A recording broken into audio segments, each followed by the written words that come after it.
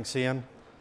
Um, so I'm going to try and be a little bit provocative in, in this talk. Um, I hope I don't upset people.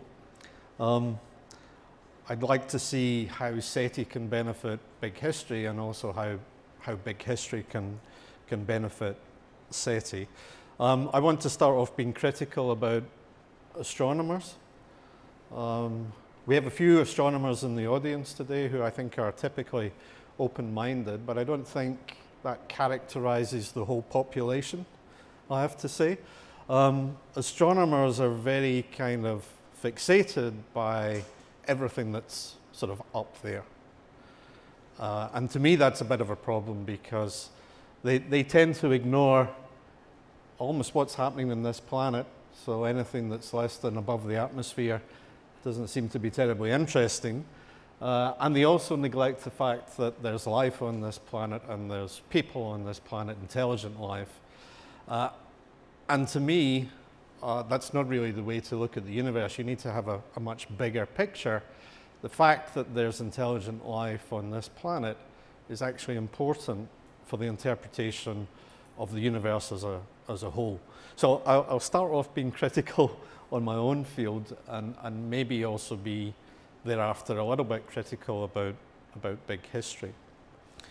Um, so, so this is the sort of big history view, at least this is one of the, one of the figures you'll see if you put into Google Big History Timeline, then they, they look sort of mostly um, like this. Uh, it, it starts off incredibly broad, uh, looking at the, the, you know, the Big Bang and the way the, the, the universe evolved, at least over the first, you know, 400,000 years, first maybe a few million, 100, 100 million years or so. Um, and then it quickly focuses, in my mind. It quickly becomes very, very narrow. And it focuses on life on this planet and, and human development. And it doesn't, doesn't really quite get out of that rut until it starts thinking um, about the future. Um, you know, this is, this is astrobiology. Um, this is the kind of stuff that Ian has been teaching for, for many decades. So that's really the sort of foundations of, of big history. Uh, I think what big history adds, and I think it's, it's very important, um, is understanding human development and, and the, big, the big picture of that. So uh, I'm not saying this is, this is wrong, but I don't like the way the focus narrows so, so quickly, and it's certainly a story that should be told, um, and it's a, it's a story that's important. I think that everyone knows the story, um, but I think there's some caveats to that, and, I, and I'll talk about some of those caveats um, here. Um, I think big history, but probably astronomy as well, and cosmology, I think, uh, but especially big history because you have, you have people who are trying to understand this whole story uh, and they're experts on a small part of it. Um, so that kind of simplifies the discussion, I think, simplifies the, the presentation, and often um, when I look at my own, own, field of expertise, which is astrophysics, um, I don't think it recognizes the limitation um, of our knowledge. Now, we've had, um, we've had Amedeo here, who, of course, is a cosmologist, and uh, more or less said that you know we understand everything about the universe and how it expanded, etc. Uh, I, I, would challenge that, um, and I think we've seen actually from all the work that cosmologists have done over the last 10 years, looking at the cosmic microwave background, um, that in fact we only really understand a, a tiny fraction um, of, the, of the universe. So we know this, what's called baryonic matter. We know pretty much what that's done in the past and perhaps what it'll do in the future, creation of stars, galaxies, planets, etc. Um, that's part of the universe that we, we know really well, but then there's all the other stuff that we don't really have a, a clue about. You know, we've been thinking about what dark matter, we've, we've, we've been told that we'll understand dark matter, uh, what it is, um, for the last 30 years, and we still don't actually understand what, what dark matter is. There are many candidates um, but no one has actually detected dark matter. No one can say what it is. Uh, and even worse is, you know, dark energy, which is one of the, the, major component of the, of the universe in terms of its, its energetics. We don't know what dark energy is. So there's, there's a huge amount of things that we don't actually understand about physics and the universe, and we shouldn't, we shouldn't pretend otherwise, and we shouldn't teach it otherwise. Um, and, and, and, actually, there are a long list of things that we, we don't understand and, and we don't know. Okay, we talked about dark matter, talked about dark energy. There's also inflation. We, we think that inflation happened because it describes the observations that we see um, in the cosmic microwave background, but we don't understand why inflation happened, this exponential expansion of the universe at very uh, early times. Um, 10 years ago, a cosmologist would have come up here and, and told you what the fate of the universe is. Uh, cosmologists would not do that today, and that's partly because, you know, for example, dark energy, we don't know whether that's a constant or whether it's changing with time. We don't know if it will increase with time or whether it will decrease with time, so we don't actually know what the, what the fate of the universe is. Um, we certainly don't know how chemistry becomes uh, biology. Uh, we don't know if there's life beyond this planet. Uh, it, it's easy to say there must be life out there, but actually we don't know. We don't even know in our own solar system whether there's life on Mars at the moment, our nearest sort of neighbor. So many things that we don't know. Propagation of life is another dimension that might be quite important. Panspermia is something that's perhaps making a comeback. I think it would be very interesting if that was the case. Um, and also there's ideas that there are actually may be many universities out there with different um, uh, cosmological parameters that work in different ways and maybe better for life or worse for life, better for intelligence, worse for intelligence. So there are many things out there that we don't understand and we shouldn't, we shouldn't pretend otherwise. Um, the other question I want to ask is, you know, does it actually matter? And does it matter to us here on this planet thinking about how our future will evolve if we understand cosmology and we understand our origins? Does it really have any consequence um, at all? Um, you know, you know, does deep knowledge of these things actually mean that we can make better decisions going forward in the in the future? Um, and I think um, I think either Claudio or Amedeo, I think it was Amedeo, already mentioned that, you know, if you take two very different theories of the universe, you know, you have the, the sort of model that we have just now, which is there's a big bang and then there's an expansion of the universe and that expansion has accelerated over the last few billion years. If you compare that to another uh, theory of the universe that only 60 years ago was very much still considered to be a possibility, the steady state theory that the universe always was and always will be. It had a little hiccup when we realized that the universe was expanding, but that was got round by introducing the creation of matter so that the, the matter and the energy density of a, solid, uh, of a st steady state uh, universe remain constant. Um, so th these are very, two very different theories of the universe, but does it actually matter? I mean, of course, it's good to tell the story. It's good for people out there to understand the big picture, but does it matter that one theory fits better with the observations than, than, than another? Um, so I was thinking about that, and the, the only thing that I can think of, and I think has already mentioned this, is that a steady state universe, because essentially it's always has been and always will be, means that anything can happen in that universe, and so we could almost certainly say that we are not alone at least sometime in the past or sometime in the future, there was or there will be um, other life in the, in, in the universe. Um, so big history also focuses on these thresholds of um, complexity and, and puts a lot of emphasis on those. Um, I'm, I'm not so particularly keen on that approach. It also worries me that there's this huge gap. If you look at these timelines on big history, yeah, there's nine billion years of big history where apparently nothing happened. You know, until the until the Earth formed, uh, nothing happened during this point, which is complete nonsense. Now, this is actually astrophysics that, that's happening in between here. Um, so, for example, many things are happening. We have the era of active galactic nuclei, we have the era of massive star formation, um, we have the peak in cosmic star formation happening around here. This is where most of the stars in the universe are actually happening a few billion years after the Big Bang, long before the solar system formed. Uh, so some of these things I think can be potentially misleading, especially when you have this, this strong focus on uh, the solar system and the development of, of life on our own, our own planet.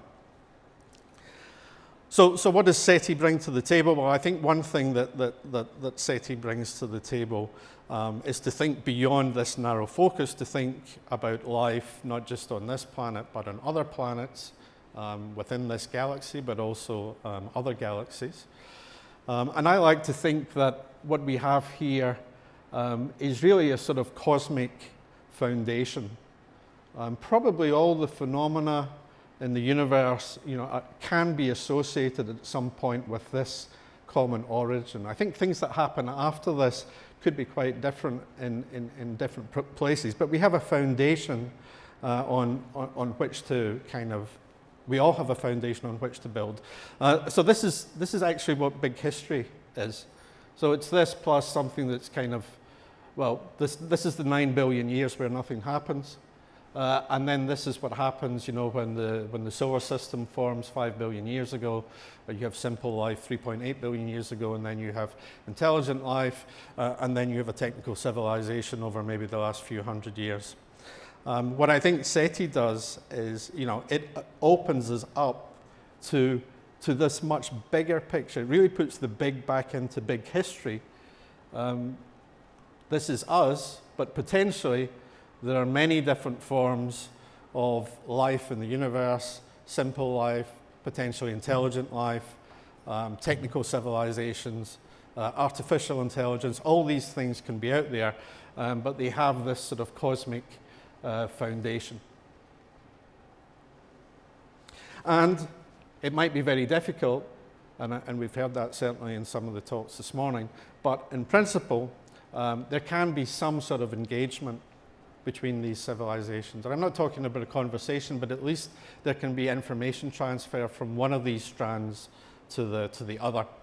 Um, so in, in principle, there are many big histories out there, and they all can be quite different in many ways. So, so that's, to me, that's incredibly exciting that there's more than just us, that there are all these other possibilities, and there must be so much that we can learn um, from, from those possibilities.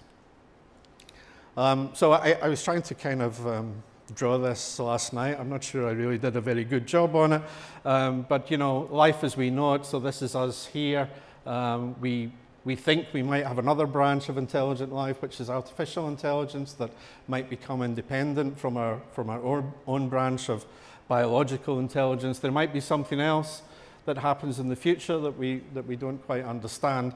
Um, and with these cosmic foundations, there, there are all these different possibilities also branching off in ways that, that we don't know about and we don't understand. Uh, now, I know this is quite speculative, um, but uh, you know, I think there's just so, such an abundance of possibilities that it's incredibly exciting and also the potential for engagement between them. And then there's life as we don't know it, so things we don't know, um, which could still be considered to, to have the characteristics of, of life, um, but not actually be life as we know it.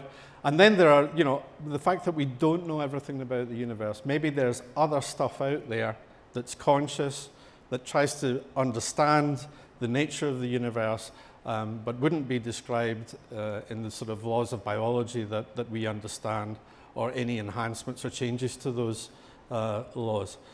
So all of this is, hugely expands, I think, the way we can think about the universe, and I think also hugely expands big history and astrobiology and SETI, etc. I think SETI brings um, that to the, to the table. Um, so, so what can big history do for SETI? Well, I think we've heard in various forms um, that, of course, we want to know what our future is. We want to know what the future is of you know, our own civilization, our own technical civilization. That would be very important to understand what the chances are of detecting other civilizations, you know, the longevity uh, of a civilization. Can we overcome the challenges that we all face um, at the moment as humankind? Um, do we do civilizations, biological civilizations, technical civilizations, do they all enter a post-biological phase? Um, you know, what, what fraction of technical civilizations truly become spacefaring? Uh, can, can we expect that typically galactic colonization is inevitable?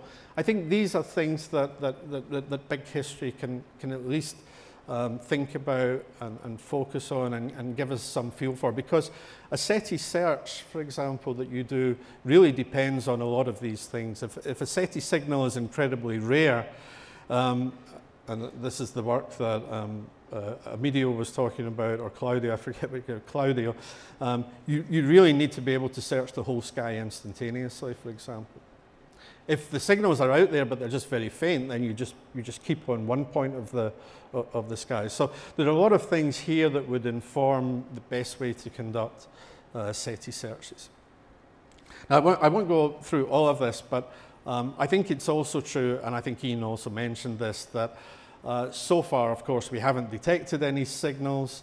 Um, astronomical data, even though our instruments are much better than they were in the past, we never need to invoke artificial signals or artificial phenomena to actually describe uh, what, what is out there. There's certainly no signature of advanced civilizations that, that use a lot of energy in astronomical data. Now, I should talk to the previous speaker because that, that's rather uh, contra to, to, to your um, position, at least proposal.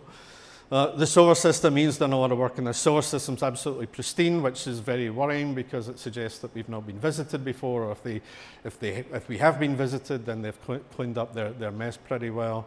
Um, again, going back to some of the previous talks, you know, it, it's a really tough problem because the Milky Way is just, is just so big it's been around for so many billions of years.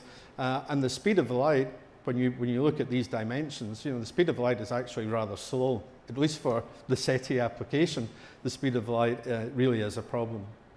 Um, civilizations may be short-lived. The technology that we're looking for may also be short-lived. Intelligent life might be rare. So there's, there's lots of potential problems out there. Um, and of course, the question is, you know, you know, how do we, how do we go beyond those problems? How do we actually make that detection? And I, I sometimes think maybe it's a technical breakthrough that we're looking for. So for example, Antony van Leeuwenhoek, a Dutchman who, who built very good microscopes, you know, he uncovered that whole microscopic uh, universe, uh, micro, uh, microbiology, which had been under our no noses for you know, billions of years, was the predominant, is the predominant life form on the planet.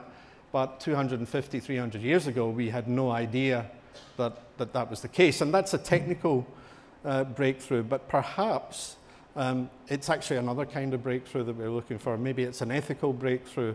Maybe it's a maturity in a, in a civilization that, that is related to all of these things together uh, and, and that come about once you're mature enough to engage um, with the rest of intelligent civilization in the, in the universe. And of course, some people also say, well, actually, maybe humans are just not up to the job of being able to recognize um, intelligent civilizations that might be out there, might be under our noses. And maybe our machines will do better. Maybe our machines will discover their machines. Um, so what else does, does, does SETI bring to the, to the, to the table? Um, certainly gives us this large-scale perspective. Um, but you know, if this really is the case, if we are still doing SETI in 10,000 years from now, uh, and, and this is the result that there's only us, then that would be really, truly fundamental. You know, if we are really alone, um, that would be, as, as Arthur C. Clarke said, just equally as terrifying as the idea that there are other civilizations out there. And if that is the message that SETI is bringing us, that actually intelligent life is, is rare, that in particular technical civilizations might be rare, then the other message, and I think this is a message that's also relevant to, to big history, is that we need to take better care um, of this planet. It might be unique in the, in the universe. I, I, I, don't really believe that, but I think it might be rare. Intelligent life might be rare. Uh, so we need to take care of the planet. Um, we need to take care of each other. Um, but that's not just our friends and family, that's every one of us that shares this fantastic cosmic spaceship that takes us around the, the Earth every year and, and around the galaxy every uh, quarter of uh, uh, 250 million years. So I think that's also something that SETI brings to the table is really um, expanding our thoughts. Big History does a good job, but, but there's actually more to do out there. Um, so I shall, I shall leave it there, and uh, thank you very much.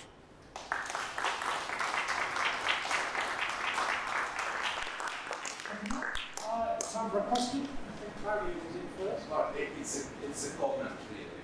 Let me explain this to the audience, both you and I and many other. I'm a member of the SETI Committee of the IAA. Now, this is, in some sense, the only worldwide association of people doing SETI in the technical sense. Right? And we have been doing that for, for, from the very beginning, for 50 years. But now, the point is to enlarge the view. And we are not the only ones. There are many other people from the humanities, and I'd like to mention them. Catherine Daly, just to mention that would like to extend the view of the SETI to enlarge our thought and to be prepared for contact. This is the bottom line of the story. So the beauty of the subcommittee is not just to do wonderful technical job as we have been doing. Honestly, the, the final goal is to prepare humanity for a problem. Thank you.